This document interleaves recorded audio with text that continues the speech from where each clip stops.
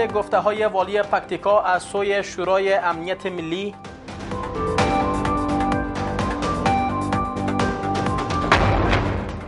جنجال ها بر سر ریاست اجرایی میان اعضای ولوسی جرگه. و آغاز دوباره عملیات عربستان سعودی علیه گروه حوسی در یمن.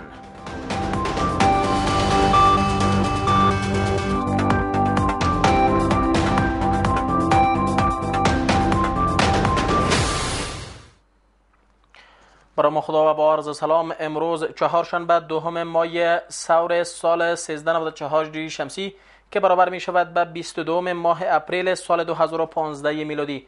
شما بیننده تازه ترین رویدادهای افغانستان و جهان تا این ساعت از کابل نیوز هستید. شورای امنیت ملی اسنادی را منتشر کرد که ثابت می سوزد تمامی کمک ها در ولسوالی برمل ولایت پکتیکا بر خانواده های مهاجر وزیرستانی توضیح شده است نه بر خانواده های جنگجویان داعش. مسئولان اظهارات والی پکتیکار را در این رابطه نادرست می‌خوانند و می‌گویند که با اداره های کمک رسانی فهرست مکمل خانواده های بیجا شده شهرت شماره های تلفن و حتی کاپی کارت های هویت آنان نیز موجود است. از سوی دیگر شورای امنیت در نشست روز گذشته به شمول وزارت داخله کمیسیون را موظف ساخته تا این موضوع را به گونه همهجانبه بررسی کند. شورای امنیت ملی اظهارات اخیر والی پکتیکا را به شدت رد می کند که گفته بود این شورا با گروه داعش کمک کرده است. شورای امنیت ملی در این رابطه تمامی اسناد و مکتوب های اداره های مختلف کمک رسانی را منتشر ساخته است که ثابت می سازد این کمک ها را مقام ولایت پکتیکا اداره های مربوط دیگر به تایید چند وزارت به گونه شفاف بر خانواده های مستحق بجا شدگان توضیح گردیده است. در این اسناد برای شورای امنیت ملی وزارت مالیه اداره امور ریاست عمومی امنیت ملی وزارت دفاع ملی وزارت امور خارجه وزارت مهاجرین وزارت صحت عامه وزارت سرحدات اقوام و قبایل وزارت احیا و انکشاف دهات اداره مستقل ارگان های محل اداره سرمیاشت اداره مبارزه با حوادث طبیعی و برای کمیشنری سازمان ملل در بخش مهاجرین در این رابطه مکاتب فرستاده شده و از تمامی اداره های یاد شده در مورد رسیدن شفاف این کمک ها به خانواده های مستحق اطمینان حاصل شده است. شورای امنیت ملی میگوید رئیس جمهور غنی در نشست شورای امنیت ملی کمیسیون را گماشته است تا این موضوع را به گونه جدی بررسی کند و اگر والی پکتیکا در این رابطه مسئول شناخته شود با وی برخورد جدی صورت خواهد گرفت. تیر ورځ یو هیئت وټاکه د لوړ مقاماتو هیئت چې پاغي کې د ولسی جرګې او د مشران جرګې غړي هم دي د بیلابیلو وزارتونو استازي هم دي دوی به ځي او د دغه مسایلو په واقعیت باندې به ځان خبري او چې ځان خبر کتابن ولسی جرګه او ولس به هم په خبريږي مګر متاسفانه چې کله چې دولتي چارواکي دغه سي بې بنسټه خبري کوي نو د هغوی په اړه باید چې په دولتي سطح باندې د حکومت په سطح باندې ډسپلیني تدابیر ونیول شي دا کار به کیږي ریاست این کمیسیون بر عهده وزیر امور داخل است که رئیس امنیت ملی وزیر عدلیه وزیر مهاجرین معاونین دوم ولسی جرگه و مشران جرگه رئیسان کمیسیون های امنیت داخلی و دفاعی هر دو جرگه معاون لوی سرانوالی و سرپرست اداره مستقل ارگان های محل نیز در آن شاملند. شورای امنیت ملی می‌گوید این پل ها از سوی حکومت پیشین زمان توزیع گردیده است که در آن زمان هیچ فعالیت از گروه داعش در کشور دیدن نشده بود. وخت چې دا پیسې ویشل شوې دي تیر کال د جوزا او د سرطان په میاشت کې په هغه وخت کې په افغانستان کې اصلا داعش پیژندل شوی نه و. نو دا خبره هم بیا هم د د ادعا بې بنسټواله ښکاره کوي. اعضای ولسی جرگه نیز میگویند که این موضوع به بررسی جدی نیاز دارد مسئله است که بی‌اعتمادی را نسبت به شورای امنیت در بین افکار عمومی به وجود میاره. امیدوار هستیم که هیئت محترم اداره در این ارتباط توجهی داشته باشه و در این ارتباط تصمیم می‌گرفته شود که از اعضای شورای امنیت باید خواسته شود که توضیح در این راستا بده.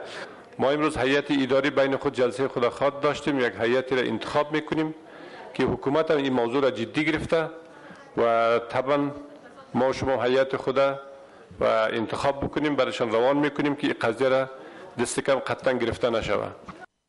این در حالی است که روز گذشته نمایندگان ولایت پکتیکا در شورای ملی اظهارات اخیر والی پکتیکا را غیر مسئولانه خواندند و گفتند که خانواده های وزیرستانی در ولسوالی برمل این ولایت با داعش و گروه های تروریستی دیگر رابطه ندارند و عملیات نظامی اردوی پاکستان آنان را واداشته تا با افغانستان پناه بیاورند. برخی از اعضای ولسی جرگه ایجاد ریاست اجراییه را برخلاف قانون و تشکیل جدا از واحدهای بودجوی حکومت می‌خوانند. نمایندگان مردم می‌گویند بر اساس قانون اساسی تنها رئیس جمهور صلاحیت ایجاد کمیسیون ها را دارد و صلاحیت تشکیل و لغو اداره های جدید به ولسی جرگه تفویض گردیده است. اما برخی دیگر مشروعیت تمام نظام را زیر سوال می‌برند و می‌گویند که حکومت وحدت ملی بر اساس رأی مردم نه بلکه بر اساس یک توافق خارجی به میان آمده است. پس از تشکیل حکومت وحدت ملی به میانجیگری وزیر خارجه امریکا کارهای این حکومت هر روز قانون اساسی را به چالش میکشاند. با وجود این که ایجاد این حکومت یگانه مصلحت سیاسی و راه جلوگیری از بحران خوانده می شود اما در کنار ریاست جمهوری ایجاد تشکیل جدید به نام ریاست اجرایه با واکنش های جدی شورای ملی مواجه شده است. نمایندگان مردم می‌گویند صلاحیت ایجاد و لغو واحدهای جدید اداری و بودجوی به ولسی جرگه تفویض است که این تشکیل جدید نیز باید از شورای ملی رای اعتماد بگیرد. پست مشخص اجرایی که فعلا رئیس دکتر سیب عبدالله ریاست به عهده داره. در کدام قوانین افغانستان تذکر رفته؟ تا ما در مطابقت و روشنی به او ایره به حیث یک واحد بودجوی جدا و مستقل بپذیریم و در کد بودیجه شامل بسازیم. ما نمی‌تونیم به اساس مسئلت های سیاسی تمام قوانین افغانستان نادیده بگیریم. اگر ما مسئله را مد نظر می‌گیریم مراعات قانون هم از مسئله بزرگ است. شما نمی‌تونید کلی کار بر خلاف قانون اساسی انجام بدین و ما مصلحت داریم. اگر قرار است که کل گپا بر اساس این نوع مصلحت ها تنظیم بشود پس مجلس نمایندگان قانونگذاری تعطیل کنین. برین رشته فیدای قوم دعوت بکنین بیان در هر مسئله مصلحت مد نظر بگیرن تصمیم بگیرن. این فرمان بار مالی بسیار بزرگ داره جناب رئیس. لطفا شما اول تشکیل بر ما واضح بسازین. که در دهی تشکیل چقدر نفر صاحب کار میشه و بار مالی از این چقدر است که حداقل ما به صفت نماینده های ملت بدانیم که بار مالی ای فرمان چقدر است. نمایندگان مردم در ولسی جرگه برگزاری لوی جرگه را یگانه راه حل این موضوع می‌خوانند و می‌گویند که مردم افغانستان باید مشروعیت این نظام را با دلایل قانونی ثابت کنند.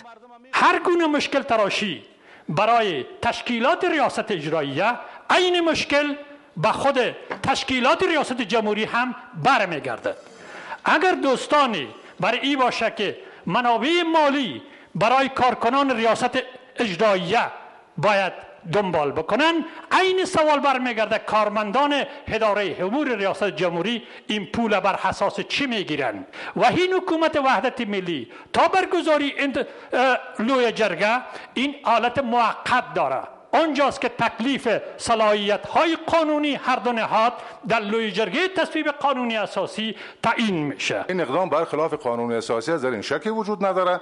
پیشنهاد ما است اگر مسئله چنین است مطابق توافقنامه لوی جرگه را دعوت بکنن. السلام علیکم. اما برخی دیگر این گونه اظهارات را در شرایط کنونی به نفع نظام نمی‌دانند. و می‌گویند که اگر ریاست اجرایی غیر قانونی خوانده شود در آن صورت حکومت نیز بر اساس رأی نه بلکه بر اساس یک توافق خارجی به میان آمده است. قبل از اینکه خلاف قانون بدانیم ایجاد واحد اداری تحت عنوان ریاست اجراییه ما با شما موافق هستیم. درست میگین. اما ایجاد اینمی حکومت وحدت ملی در کجای قانون است؟ راست است که عین واقعا بر اساس قانون اساسی که در سفارت آمریکا ساخته شد. یکیش در ارگ است یکیش در قتل مرمر است. این کسی پنهان نمی‌تونه. یک نفر امروز گفته به من می‌تونه که رئیس جمهوری کشور چند رای آورده؟ نه. رئیس اجرایه آیا صندوقی در انتخابات به نام رئیس اجرایه وجود داشت؟ نه. این همی ضرورت کشور ماست. ریاست اجرایی هم قانونی است اشرف غنی هم قانونی آمده. ما فعلا آل تطر تحت چتر نمی بیرق و حکومت همیجا هستیم. ما صلاحیت زیر نداریم که خلاف منافع مملکت خود گپ بزنیم. این واحد جدید به نام ریاست اجرایی در چارچوب حکومت افغانستان در حال ایجاد می گردد که افغانستان با مشکلات زیاد اقتصادی و با گذشت هر روز با بیکاری روز افزون مواجه است. معاون دوم رئیس جمهور از وزیران جدید خواست تا در اداره های دولتی اصلاحات بنیادی بیاورند.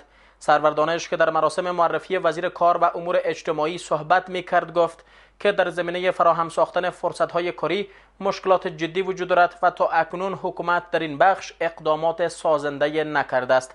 از سوی دیگر نماینده خاص رئیس جمهور در بخش حکومتداری خوب که وزیر امور زنان را معرفی می کرد گفت که هنوز بیشتر زنان کشور از حقوق خود محرومند.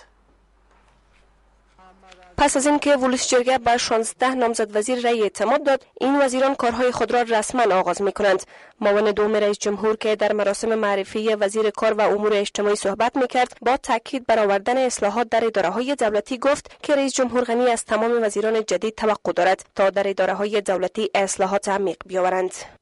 همونطوری که انتظار مردم افغانستان هست انتظار هیئت رهبری حکومت افغانستان هم هست.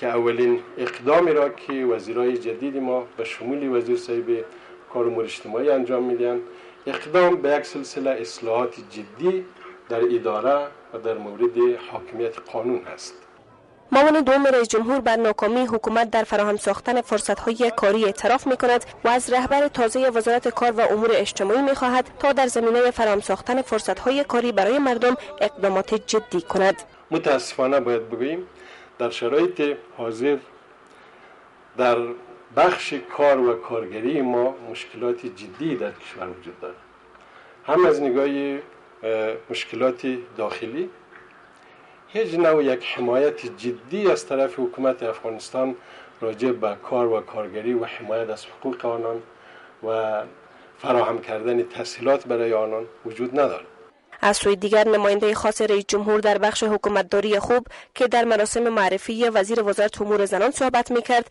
در رابطه به ادب توجه به حقوق زنان در برخی از موارد ابراز نگرانی کرد و گفت که با وجود قوانین به حقوق زنان توجه نمی شود با وجود قوانین زیادی که به خاطر اعاده حقوق زنها در کشور داریم اما باز هم آسیب پذیر هستند.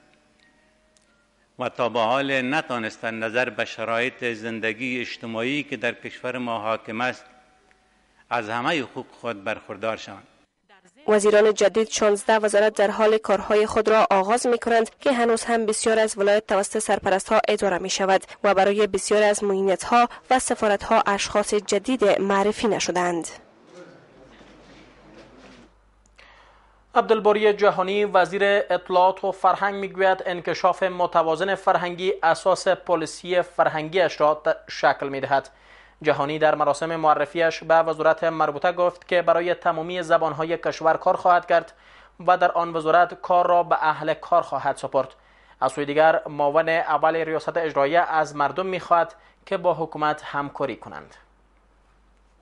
وزیر اطلاعات و فرهنگ در حال انکشاف متوازن فرهنگی را اساس پالیسی خود می‌خواند که افغانستان به هر وقت دیگر با تهاجم بیشتر فرهنگی دست و پنجه نرم می کند عبدالباری جهانی وزیر اطلاعات و فرهنگ روز چهارشنبه هنگام معرفی شدن به وزارت مربوطه گفت که برای تمامی زبانهای کشور مشترکاً کار خواهد کرد و در آن وزارت کار را به اهل کار خواهد سپرد. انکشاف متوازن فرهنگی اساسی پالیسی فرهنگی ما خواهد بود. به هیچ زبان و به هیچ کلتور تفوقی را قائل نخواهم بود و با زبانی پشتو با زبانی دری با زبانی ازبکی و با هر زبانی که باشه با او همکاری میکنم و از سوی دیگر معاون اول ریاست اجرایه خدمات پیشین عبدالباری جهانی را برای فرهنگ افغانستان ستود و وی را یک هسته بزرگ فرهنگی خواند دنجیدر محمد خان در مراسم معرفی وزیر اطلاعات و فرهنگ در خطاب به مردم گفت که دیگر اختلافاتشان را کنار بگذارند و متحدانه حکومت فعلی را برای جامعه جهانی من حیث یک دولت نمونه معرفی کنند ټول په یو ځای په یو आवाज باندې لکه څنګه چې د یو قانون شاوخوا راټول سوي یو او دغه احترام لرو. راځي لکه څنګه چې په یو افغاني او اسلامی دود او دستور راټول سوي یو او هغه ته احترام لرو. راځي لکه لکه څنګه چې د ملي یووالي یو قوي حکومت هم نه تنها په منطقه بلکې په جهان کې یو نوی مثال وړاندې کړو وارد شدن کتاب های ضد ارزش های فکری و فرهنگی به افغانستان و پخش سریال های تصویری مبتذل و همچنان رشد نامتوازن زبان ها و ترویج ترمینولوژی ملی دیگران در اصلاحات ما که ملت ما اساسا در رابطه با آن فهم و آگاهی ندارد تهاجم فرهنگی خوانده می شود که تا اکنون کشور ما با آن دست و گریبان است. دیده شود که وزیر جدید اطلاعات و فرهنگ تا چه اندازه بر عملی نمودن تعهدات خود دست مییابد. رئیس اجرایی حکومت می‌گوید وزارت تحصیلات عالی باید به جای کمیت به کیفیت توجه کند. اما وزیر جدید تحصیلات عالی می‌گوید که برای بهتر شدن نظام تحصیلی پلان میسوزد که بر اساس آن تمامی مشکلات تحصیلات عالی حل شود. از سوی دیگر وزیر آب و برق می‌گوید 67 درصد آب کشور به کشورهای همسایه سرازیر می شود که ظرفیت تولید انرژی آن 80 درصد نیازمندی های مردم را در مقایسه با برق وارداتی رفع می کند. مشکل کیفیت پایین در نظام تحصیلی کشور در کنار مشکلات دیگر که همواره سبب انتقادها بر وزارت تحصیلات عالی گردیده است آسیب دیگری است که باید برای رفع آن چارهجویی شود در حال حاضر صدها پوانتون دولتی، شخصی و مؤسسات نیمه عالی در کشور فعالیت دارند که تعداد زیاد مصروف فراگیری دو روز در آن می باشند. اما رئیس اجرایی حکومت می‌گوید وزارت تحصیلات عالی در کنار کمیت به کیفیت در نظام تحصیلی کشور نیز توجه جدی کند.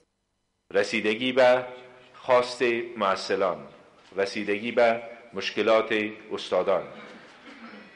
رفرم توجه به تحقیق research به ارتقای ظرفیت و بالا بردن کیفیت تحصیلات عالی تحصیلات فراتر از لسانس همه اینها مسئولیت هایی است که هر عرصهش کار و زحمت و تلاش پیگیر می‌خواهد.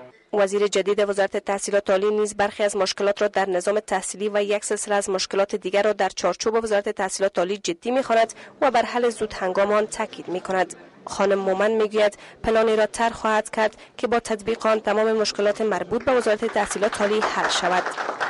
د افغانستان اسلامي جمهوریت د لوړو زده کړو وزارت به نه یوازې د محصلانو او استادانو شمیر ته پاملرنه وکړي بلکې د دیارلس سوه څلور نویم نه تر دیارلس سوه اته نویم کال د ستراتیژیک پلان په نظر کې د نیولو سره به د هغوی د علمي ظرفیتونو په لوړولو کې هم جدي پاملرنه وکړي. از سوی دیگر وزیر جدید آب و برق نیز رسما وظیفهاش را آغاز کرد وی می‌گوید 67 درصد آب افغانستان به کشورهای همسایه می رود که در مقایسه با برق وارداتی 80 درصد توانایی تولید برق را دارد. از 57 میلیارد متر مکعب آبهای سطحی هنوز هم شاید حدود 67 درصد بدون استفاده از کشور بیرون میره. حدود 80 درصد از برق مصرفی ما وارداتی است. برق تولیدی نقشی در برق مصرفی بسیار کمه و برق وارداتی به برق تولیدی هنوز متصل نشده. وزیران جدید این گونه تعهدات را در حال می سپارند که پیش از این وزیران پیشین نیز تعهدات زیادی با ملت کرده بودند اما شمار اندکان را عملی کردند بیش از 200 جنگجوی مسلح بر پسته های نیروهای افغان در ولسوالی بالا مرغاب ولایت بادغیس حمله کردند. مسئولان محلی بادغیس می‌گویند سه شنبه شب جنگجویان مسلح بر پوسته های پلیس سرحدی در منطقه موریچاو حمله کردند که در این درگیری سه سرباز پلیس سرحدی و چهار تن از جنگجویان مسلح کشته شدند. سخنگوی والی بادغیس می‌گوید که با رسیدن حمایت هوایی به منطقه جنگجویان مسلح از محل فرار کرده و عملیات برای ردیابی آنان ادامه دارد. بالای پسته نمبر پنج پلیس سرحدی ولسوالی بالا مرغاب منطقه مورچاک از طرف دشمن و تروریستا حمله شده بود. تا دوازده بجه امروز ادامه داشتی حملهشان. تلفات برخواسته از این حادثه ما داریم. سه نفر از سربازای پلیس سرحدی ما شهید شده و چهار نفر زخمی و از دشمن چهار کشته و هشت نفر زخمی داره.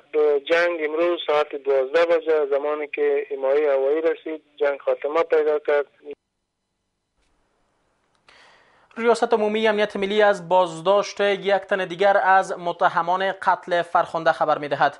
در خبرنامه ریاست عمومی امنیت ملی آمده است این فرد که بریالای نام دارد پس از لطوکوب فرخنده را به موتر خود بسته و پس از آن وی را با سایر افراد به دریا انداخت به اساس خبرنامه بریالی پس از 32 روز از قریه گلدان ولایت کاپیسا توسط کارمندان ریاست عمومی امنیت ملی بازداشت شد. رئیس اجرای حکومت اولودگی محیط زیست را در کشور نگران کننده می خوند. عبدالله عبدالله هنگام سخنرانی در مراسمی که به مناسبت روز جهانی زمین برگزار شده بود گفت که محیط زیست کشور در وضعیت بسیار بدی قرار دارد و با گذشت هر روز به سوی بدتر شدن می رود.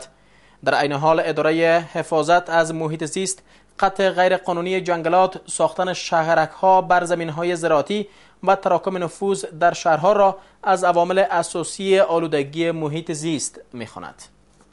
آلودگی محیط زیست مشکلات و امراض ناشی از آن زندگی شمار زیاد از افغانها را تهدید می کند.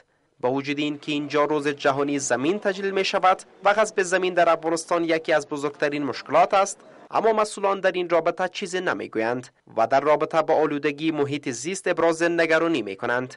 رئیس اجرایی حکومت می‌گوید آلودگی محیط زیست به یک مصیبت مبدل شده است و برای نجات از این مصیبت خطرناک به همکاری و کمک مردم نیاز است. تمام ادارات افغانستان مسائل محیط زیستی را به حیث یکی از بخش توجهشان در برنامه ها نظر داشته باشند.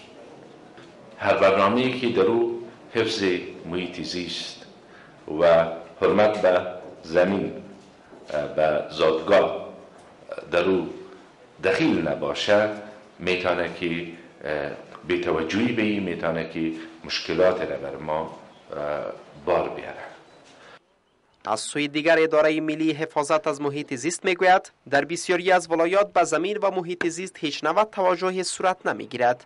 اداره حفاظت از محیط زیست قطع جنگلات آبادی شهرک ها بر زمین های زراعتی و تراکم نفوذ در شهرها را از عوامل اساسی آلودگی محیط زیست میخواند.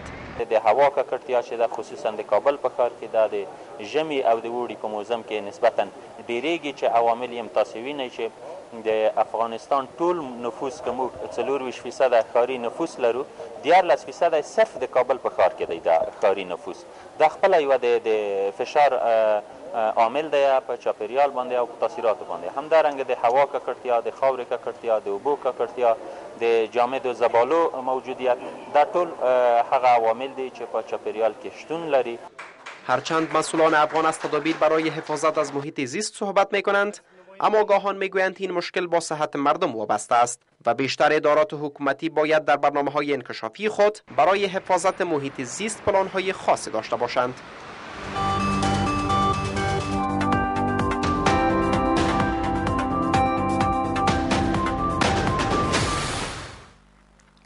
بیننده خبرهای جهان از کابل نیوز استید عربستان سعودی بار دیگر بمباردمان بر اهداف حوسی ها در یمن را از سر گرفت. اطلاف علیه حوسی ها بر رهبری عربستان سعودی روز گذشته عملیات هوایی بر یمن را به طبیق انداخت. اما می‌گوید جنگجویان حوسی حملات خود را افزایش داده است. از سوی دیگر امریکا از ایران خواسته است که برای ملیشه های حوسی اسلحه نفرستد. در درگیری میان اردوی پاکستان و جنگجویان مسلح در بلوچستان و منطقه قبایلی وزیرستان شمالی 37 نظامی و افراد مسلح کشته و زخمی شدند مسئولان در بلوچستان می‌گویند که بلوچهای جدایی طلب در دو حمله خود دو نظامی را کشتند و در تبادله آتش شش تن نیز کشته و دو تن دیگر گرفتار شدند از سوی دیگر اردوی پاکستان می‌گوید که در منطقه دتخیل وزیرستان شمالی 22 طالب مسلح را کشتند اردوی پاکستان میپذیرد که طالبان مسلح بر پوسته مکین کجوری تا 500 راکت پرتاب کردند که در نتیجه آن هفت نظامی زخم برداشتند. منابع نیز میافزایند که در سرحد میان وزیرستان شمالی و جنوبی نیز میان اردوی پاکستان و افراد مسلح درگیری صورت گرفته است که تا حال از تلفات آن گزارش در دست نیست.